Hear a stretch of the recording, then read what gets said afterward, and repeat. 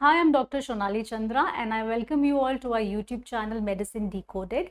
And now with the Back to Basics series, in this video I'm going to discuss with you fetoplacental circulation.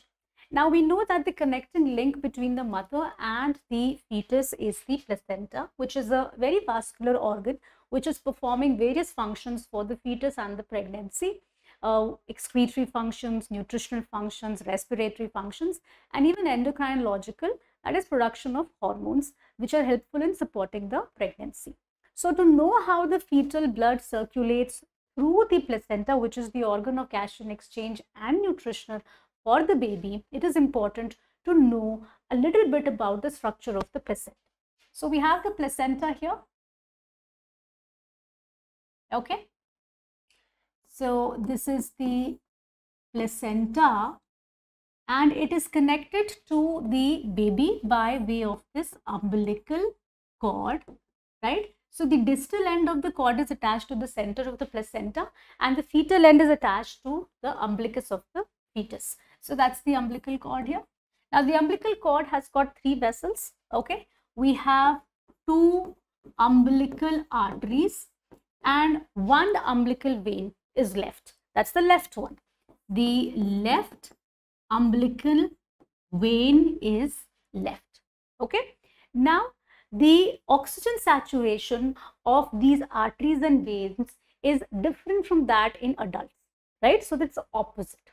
So, umbilical arteries, you can see here, carry deoxygenated blood from the fetus to the placenta to get oxidized okay and the umbilical vein carries the blood from the placenta to the baby and that is oxygenated blood okay so the oxygen saturation of the blood returning from the umbilical uh, vein here by way of placenta this umbilical vein has got 80% saturation with oxygen.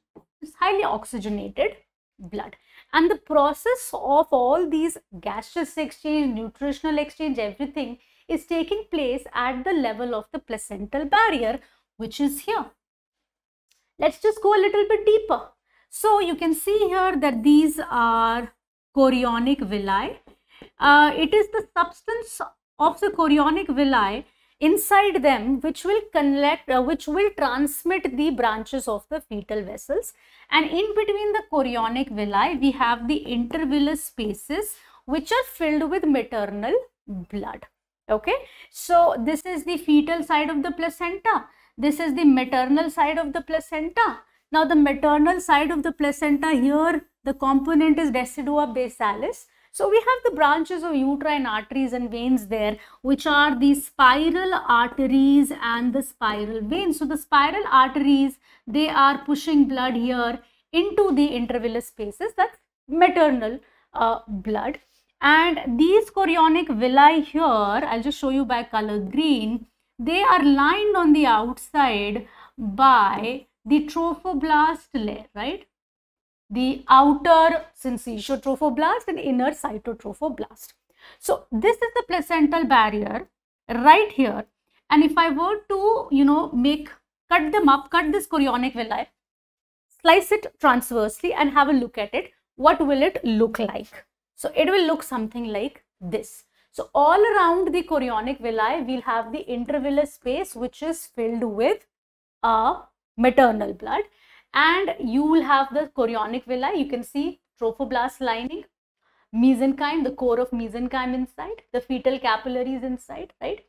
Now, the important thing to note here is that the oxygen saturation in the intervillous spaces, okay? The oxygen saturation of the blood in the intervillous spaces is about 65 to 75 percent and the partial pressure of oxygen is about 30 to 35 mm Hg, all right? Now, the fetal capillaries, which are obviously arising, arising from the fetal branches of the umbilical arteries, right? Now, their oxygen saturation is slightly, you know, similar to this, to the blood circulating in the intervillous space and the partial pressure of oxygen is slightly lower. So let's say comparable to the oxygen status in the intervillous spaces. Now, the important question here is, in our last video, I talked about the oxygen dissociation curve and I told you how for, you know, oxygen unloading to take place or delivery of oxygen from one, uh, from blood to the tissues, what is needed is the difference in the partial pressure of oxygen. A low partial pressure of oxygen will promote unloading of oxygen. Now, I am here telling you an entirely different thing. What I'm telling you is that in the fetal capillaries or in the umbilical arteries, the oxygen saturation is almost similar with slightly lower PO2, then how does this effective exchange of oxygen between the mother and the fetal blood takes place? The answer is in the fetal RBCs. Now, the fetal RBCs contain hemoglobin F, the fetal form of hemoglobin. And this fetal form of hemoglobin has a high affinity or binds to oxygen with more tightness, let's say high affinity for oxygen, therefore promoting the gaseous exchange or between oxygen from the maternal blood to the fetal blood. Now that we're clear with this, let's go in totality and discuss the fetal circulation on the whole. But to appreciate the difference between a fetal circulation vis-a-vis -vis adult circulation, let's just figure out and elaborate what adult circulation is all about. Very plain and simple, we all know this, that you know uh, blood in our body is distributed by the arteries all right? And the major artery that comes from the left side of the heart the left ventricle is the aorta giving of various branches to the respective organs all right? Then the uh, deoxygenated blood is come uh, you know collected by the various venous systems of the body. And finally you have this deoxygenated blood returning to the right side of the heart that's our right atrium by way of the venous system of our body, superior vena cava and inferior vena cava, venous system, all right. And then from the right heart, it goes to the lungs for oxygenation. So basically it goes to the right atrium, then to the right ventricle, then from the pulmonary artery to the lungs for oxygenation, then returning to the left side of the heart by way of pulmonary veins. So we have the left atrium, then it goes to the left uh, ventricle, and then it comes out of the aorta. So what we realize is here is that the four chambers of the heart, they are connected in series, in line. Okay. Now the fetal circulation on the other hand, the basic difference is that the four chambers of the heart are connected instead in parallel. And secondly, the function of the lungs is taken over by the placenta. Basic difference. Okay. Now let's just elaborate and uh, elaborate on it a little bit more. So again, the blood supply to most of the body of the you know fetus is of course by the aorta, right? Now eventually the aorta will go is going to branch off uh, into the terminal portions, uh, you know, into the umbilical artery from the common iliac, then internal iliac, and then from there the umbilical arteries so you have two umbilical arteries which are taking blood to the placenta. Now this is deoxygenated blood. Okay. And from the placenta, oxygen rich blood is going to return by way of inferior vena cava to the right side of the heart. Now in the right side of the heart, the lungs are not the source of oxygenation. Instead, blood has to move from the right to the left side of the heart, skipping out the lungs in between right? So there is a right to left shunt. Instead of going from the right atrium to the left atrium, uh, right atrium to the right ventricle, uh, right ventricle and then to the left atrium, we have shunts operating, right to left shunts. So at the level of the uh, atria, there is connection between the right atrium and the left atrium that is called as the foramen ovale. If you consider at the level of the ventricular output, that means between the pulmonary artery from the right ventricle and the arch of descending aorta from the uh, left side of the heart, we have a connection at the level of the ventricular output also, which is the ductus arteriosus, right? So, we have right to left shunts operating in the fetal circulation. The chambers of the heart are connected in parallel and not in series and the function of oxygenation is taken over by the placenta instead of the lungs. Okay. Now let's go a little bit deeper and further elaborate on the fetal circulation and I will take you step by step through this diagrammatic representation. So this is the placenta here. Okay. I told you from the aorta here after the aorta has given off you know uh, blood supply to the entire body of the fetus you see eventually terminally you know the oxygen has been you know delivered to the various tissues so by the time the blood is traveling in the umbilical arteries here you see umbilical arteries are the terminal branches of the internal iliac arteries arising from the aorta here so umbilical arteries by the time the blood reaches the umbilical arteries the oxygen saturation is very, very less. So it's like deoxygenated. So let's call it deoxygenated blood. And it comes to the placenta, gets oxygenated. Oxygenated blood, which is 80% oxygen saturation, returns by way of umbilical veins. Okay. And these umbilical veins then travel upwards.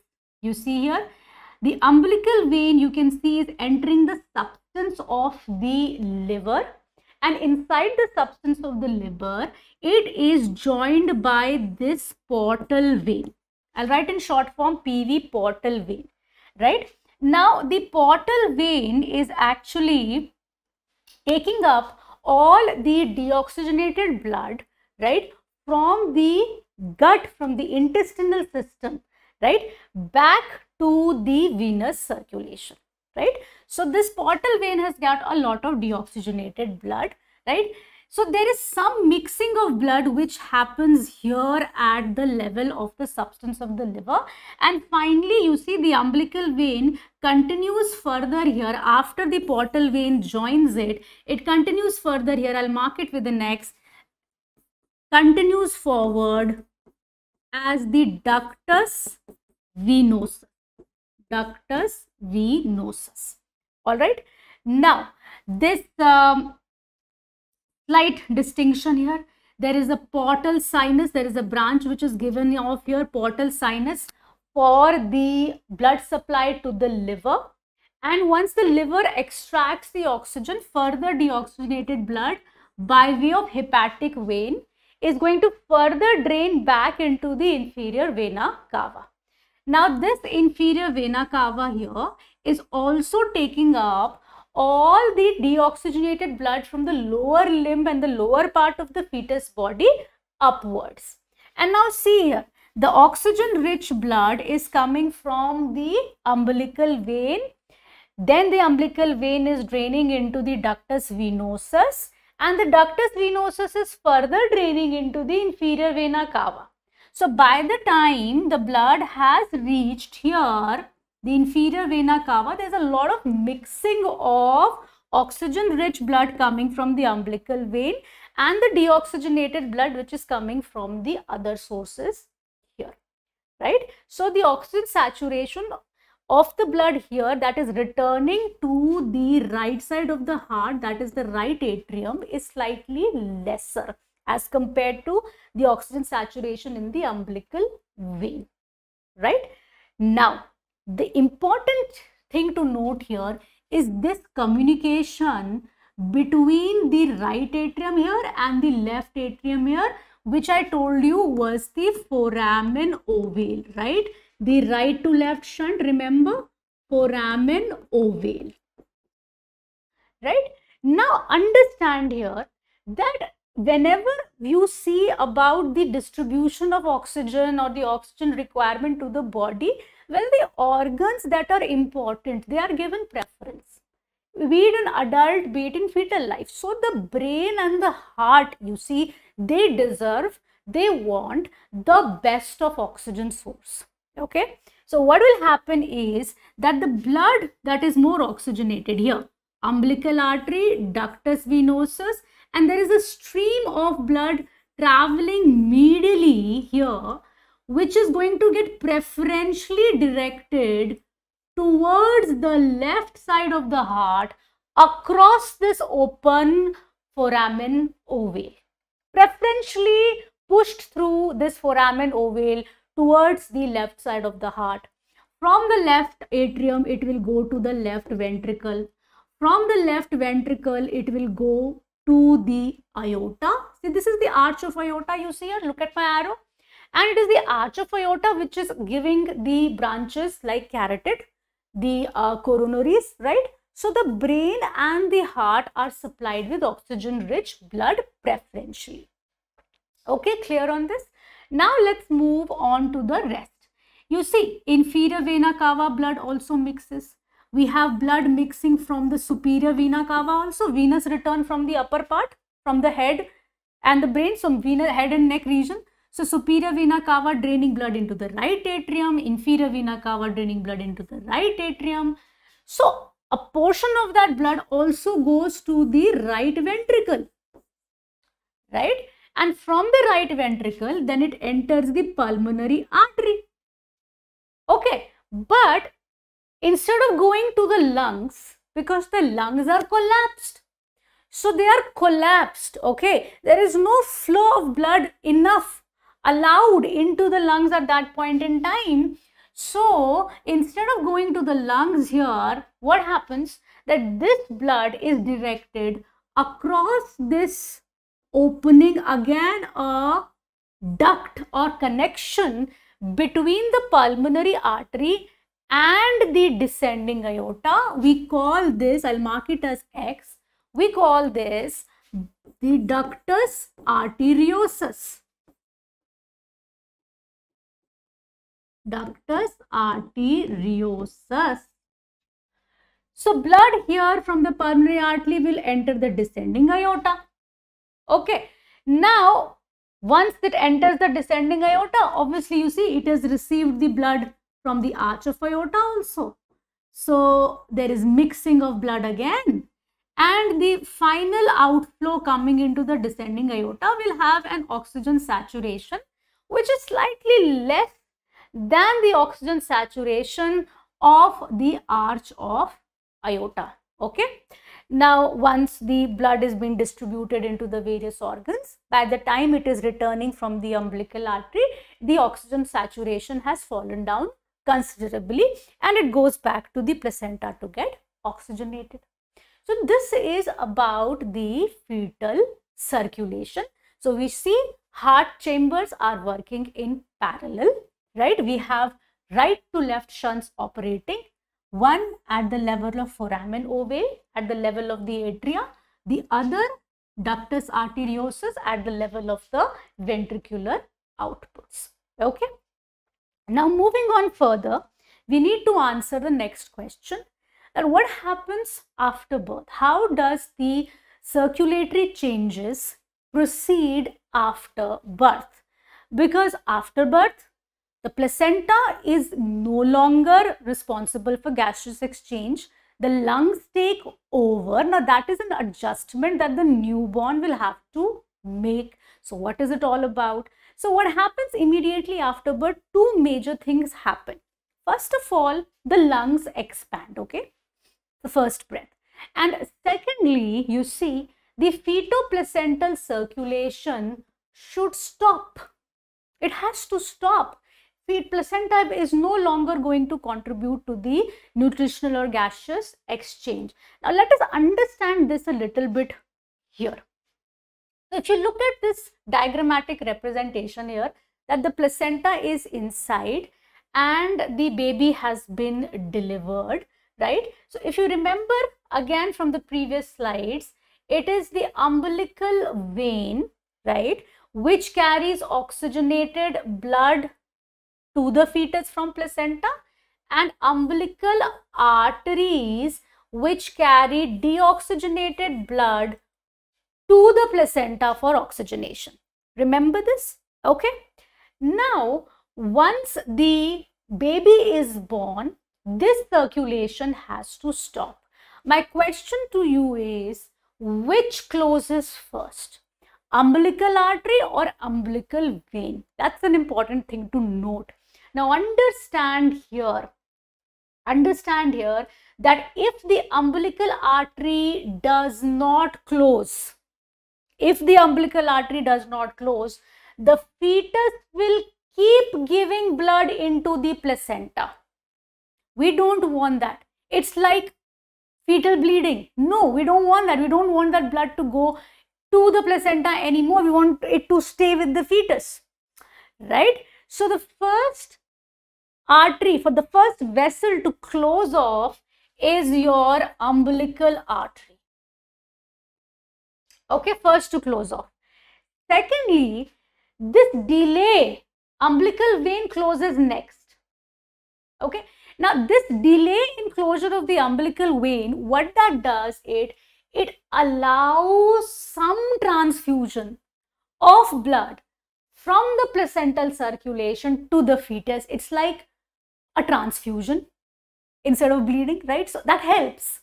So this umbilical vein closes off second, allowing for some extra blood to be gained by the fetus till the time the umbilical vein closes off. All right. Now, what happens when the lungs expand? Okay. Now, to answer that question, first understand that when the placental circulation is stopped, it's like a traffic jam has been created. See, placenta was a very low vascular resistance circulation, a lot of blood flowing through, a lot of traffic flowing through, no traffic jams, not so whatsoever. But now when the placental circulation and when the fetoplacental circulation, the umbilical artery and the veins have been closed off, you see, what happens is that it's a traffic jam. Now, no longer the roads can travel there. No longer blood can flow through that high resistance circulation. So, what happens? The systemic vascular resistance increases. So, when you know blood has to push through a lot of resistance, then the pressure increases. The blood pressure increases. That is reflected in the increase in blood pressure. So, imagine yourself that you had to go through a route okay that route is blocked and there is a lot of traffic there. There's a lot of resistance there. Your stress is increasing. You feel a lot of pressure. That's your blood pressure rising. All right? So the pressure in the aorta increases. The pressure in the aorta increases after birth. And that's also reflected in the pressures on the left side of the heart. The left sided ventricle the left atrium the pressures are increases so where was the story? Our story was that you were under a lot of pressure. There was this blockage and your blood pressure was rising and then you suddenly, you know, get a notification on your Google Maps that another route has opened up, right? The lungs have expanded. Uh, a route has opened up with less traffic, less resistance. So what happens is that the pulmonary vascular resistance decreases. So now you have another place to go, another route to take. So now the blood has another route to take. So what happens is that blood that is returning to the right side of the heart, you see, now what has happened? The pressures on the left side have increased and the pressure in the pulmonary artery, the pulmonary vascular pressure has drastically decreased. So now what happens, the blood that is returning to the right ventricle is going to the pulmonary artery preferentially. Here, for oxygenation into the lungs. So here it goes to the lungs. Here, goes to the lungs, right? And the blood no longer needs to travel through the ductus arteriosus to the aorta. That shunt is no longer required. You see, because your lungs are getting the blood from the pulmonary artery to get oxygenated there and this high oxygen tension in the pulmonary artery also, you know, lung expansion releases bradykinin in the local area there. And these are the two reasons why this ductus arteriosus closes and it closes, you know, within a few hours after birth. Within a few hours after birth, functionally it closes and anatomically it will close off in another 24 to 48 hours. So it closes next. So when it closes, blood no longer goes through that shunt that is not operational any longer. What happens after that? From the lungs, blood returns, oxygenated blood returns by way of pulmonary uh, veins to the left side of the heart. From the left side, left atrium to left ventricle, right? Now there is good amount of blood returning to the left side of the heart. There was systemic vascular resistance which was increasing. So the pressures on the left side of the heart have increased and blood goes from the aorta here to the arch of aorta to the descending aorta. You see, now this foramen ovale here, see this foramen ovale here, you see, this is between the two chambers, right side, left side, in between foramen ovale. Okay, so you have pressures in the left side of the heart, left atrium increasing considerably, right? Pushing the, pushing the foramen ovale to close. Okay, so what happens is that blood from the right side is rapidly given off to the pulmonary artery, emptied, right side is emptied, low pressure on the right side. Left side of the heart returning blood from the pulmonary veins, more pressure on the left side of the heart and foramen ovale also closes after birth. So these shunts are closed off, right? And the chambers which were earlier working in parallel because of these shunts, when the shunts closes, you see that the heart chambers start to work in series just like in adults right?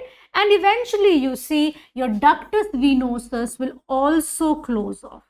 The ductus venosus will close about you know um,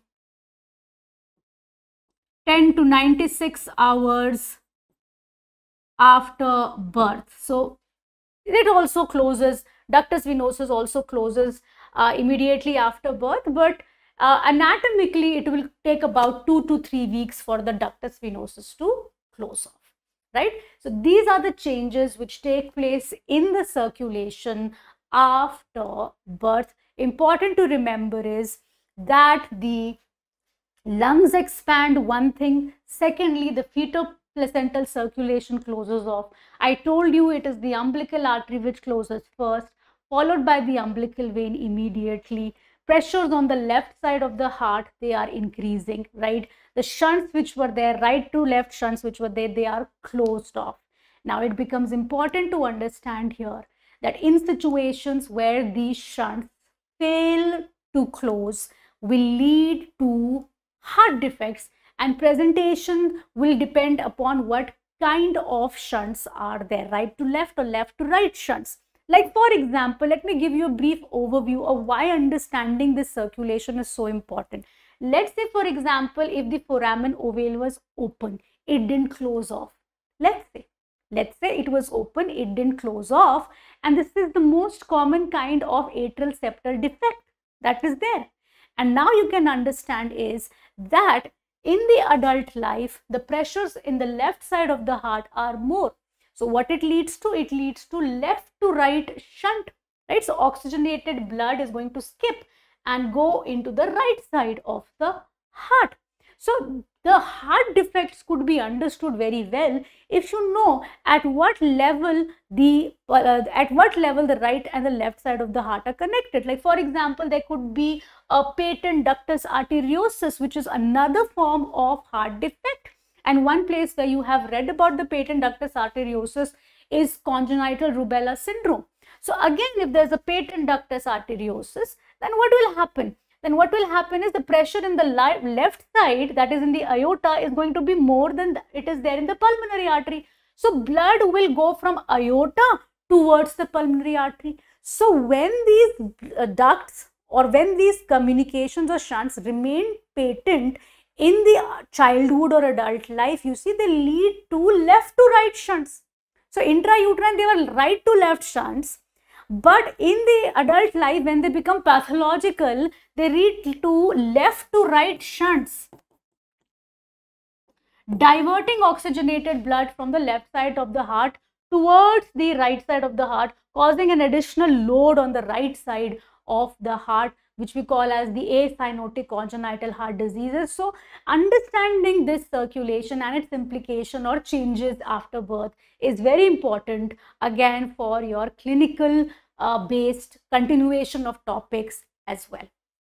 So with this video, uh, so with this information, I'll end this video for today and this was about fetal circulation. Please feel free to offer your suggestions about any other topic that you need a short video on and uh, thank you so much and have a great day.